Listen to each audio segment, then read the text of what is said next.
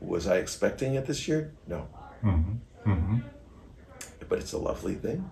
Gary Ruvkun was at his home in Newton, Massachusetts when he got the call informing him that he was one of two American scientists who won the 2024 Nobel Prize in Medicine. If you get a call from somebody in in Sweden, answer it.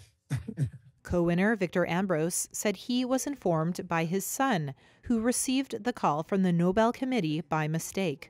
The pair won for their discovery of microRNA and its crucial role in how multicellular organisms grow and live.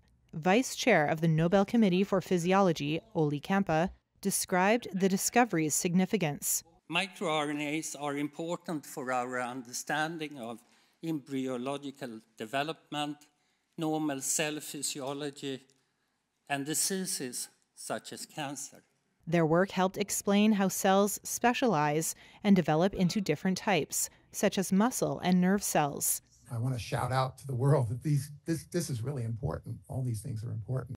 Ambros is a professor at the University of Massachusetts Medical School, while Ruvkun is a professor at Harvard Medical School and also affiliated with Massachusetts General Hospital in Boston.